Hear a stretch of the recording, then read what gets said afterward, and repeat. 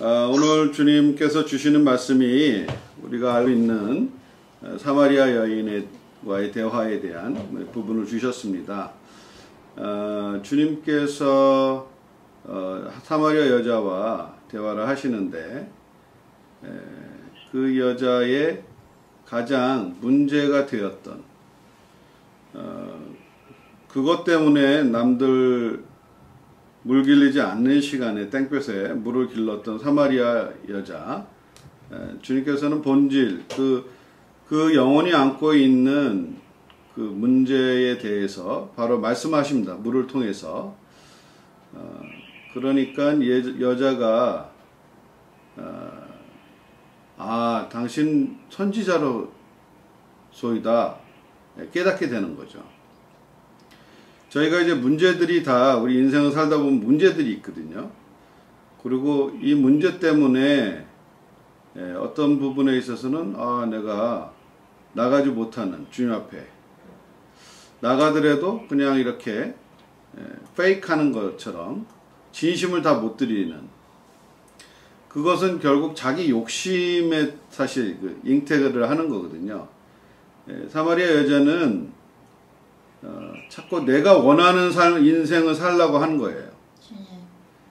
남편도 내가 원하는 스타일의 남편을 원하는 거예요. 근데 그게 뭐냐면 인생을 살다 보면은 근데 내가 원하는 식으로 인생이 안 풀어진다는 거죠. 그러니까 우리는 뭐예요? 내가 원하는 거를 얻기 위해서는 또 남편도 갈아요. 내가 원하는 것을 얻기 위해서는 또, 어, 또 찾아다니는 거예요. 예. 그러면서 자꾸 인생의 문제가 더 커지는 거예요. 해결이 되는 게 아니고. 그래서 그런 인생이 자꾸 이렇게, 아, 내 인생이 이러지? 왜 자꾸 꼬이지? 예. 이런 일들이 자꾸 이렇게 생기는 거거든요. 왜냐하면 사마리아 여인이 지금 인생을 그래도 열심히 살라고 했는데, 자기 행복을 위해서 살라고 했는데, 왜 결혼해요?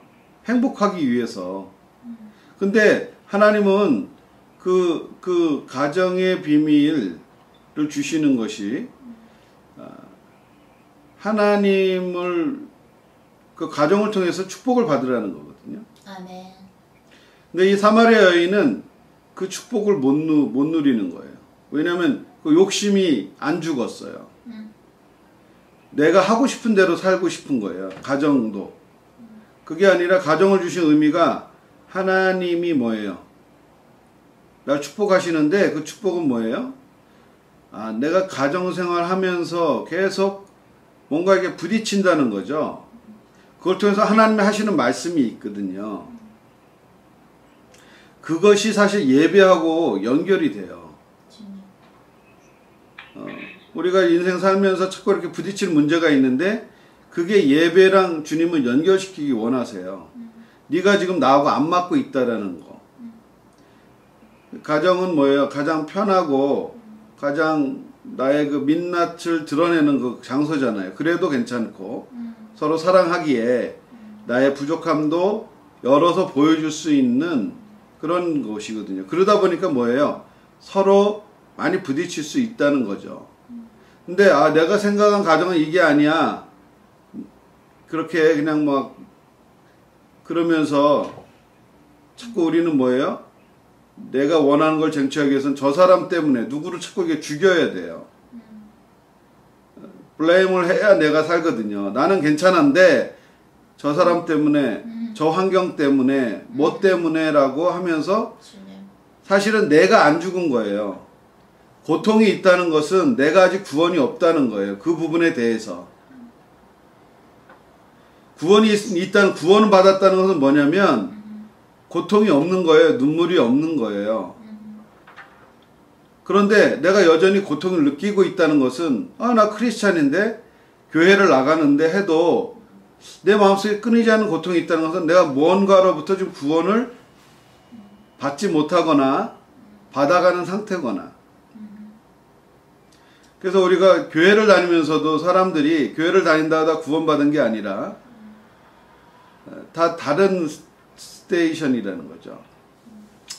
제가 이게 영적인 세계 들어가면서 주님이 저한테 주시는 것이 아니 뭐 그럴 수 있지 뭐 다 사람들이 뭐 다 그러지 뭐, 뭐 나만 유별난가 뭐 다들 그렇게 사는데 뭐 지지고 먹고 사는 게 인생인 건데 라는 생각을로 그게 이제 미혹이에요. 원래 인생은 그렇게 살라고 창조된 게 아니었어요. 하나님의 디자인은 가정에 대한 디자인과 내 인생에 대한 디자인은 그렇게 그냥 지지고 먹고 살라고 디자인된 게 아니라 그걸 통해서 그리스도 찾아가게 하시고 그러면서 나의 묶임을 계속 십자가에 던지게 하시는 거예요. 나를 내가 자유롭게 되는 거예요. 언제까지 내가 완전히 죽을 때까지. 그리고 내 속에 그리스도가 나를 입고 사실 때까지 어 내가 계속 이 문제 계속 사단이 공격을 하네. 이 문제만 오면은 내가 힘드네. 어, 요거를 계속 반복해서 보여주시는 거예요. 그거 그 사람을 통해서 사건을 통해서 반복해서 보여주실 때 우리는 자꾸 보이는 저 사람 저 사건을 블레임 하는데 그러면 속고 있는 거예요. 아, 그 이게 아니구나. 하나님 날, 날, 저 사람을 통해 이 사건을 통해서 나를 지금 자유롭게 구원해 나가시는 과정이구나. 아멘. 이것이 보여질 때요. 빨리 숙제를 끝내고 싶은 거예요. 어, 내가 자유롭게 되면 하나님은 내가 원하시는 인생의 스타일을 살기 시작하고 그 맛을 누, 려가기 시작하면 하나님 그 다음 축복 주시려고 준비하고 계시는 거예요. 근데 우리가 그걸 못 풀면 계속 인생이 거기서 쳇바퀴 돌듯이 도는 거예요. 근데 빨리 아 주님이 준비하실 축복 다음 거 받고 싶다면 순종하고 나는 죽고 그리스도가 살았다라는 거죠. 그걸로 하나님은 계속 끌어가시는 거거든요. 남편 다섯이 있어도 내 인생 또 찾은 찾는 거야. 내 행복을. 내가 원하는 스타일로. 그런 인생 절대로 안 열려요. 뭐냐면 그리스도 만나야 되고 진짜 내 진짜 참 신랑이 누구냐? 그리스도라는 거죠. 예수라는 거죠.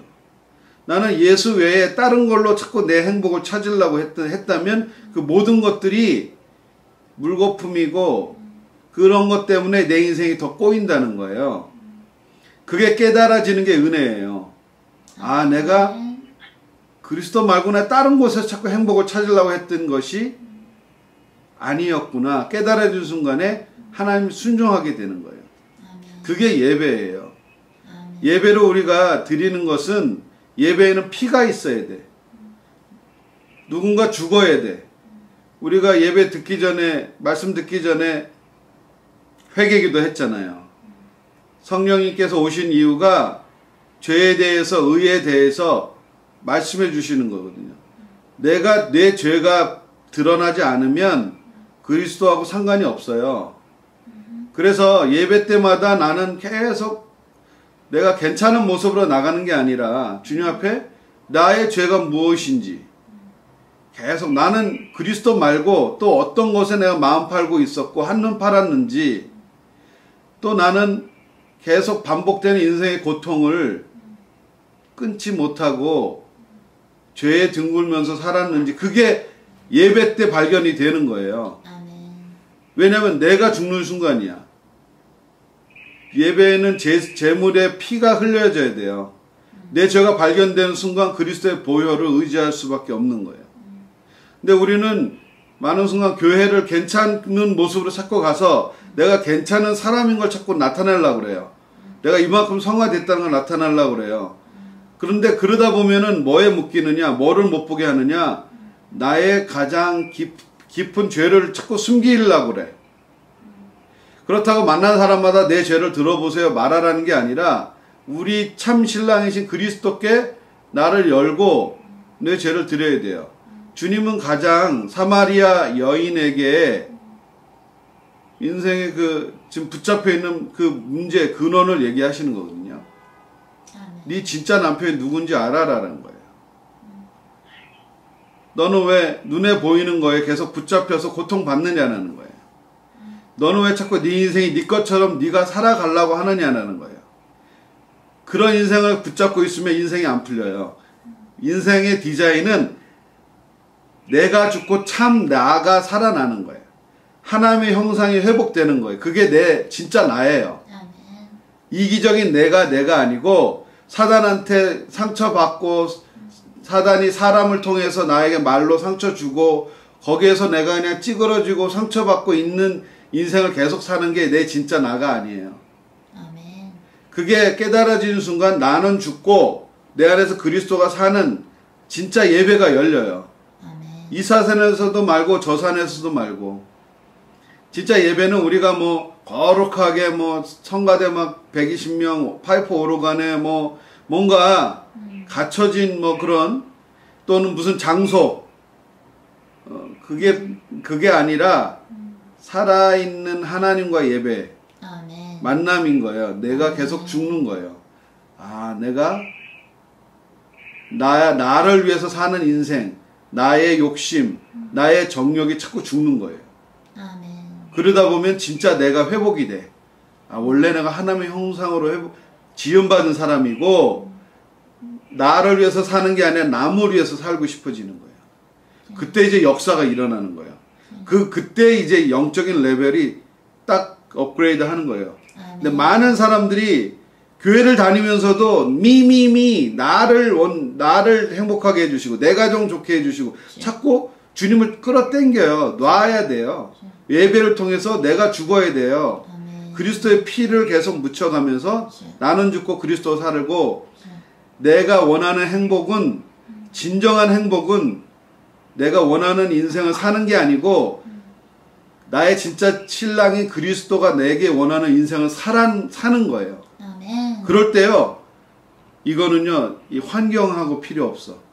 location이 필요 없어요. 어디에 있든지 그냥 천국이야. 아멘.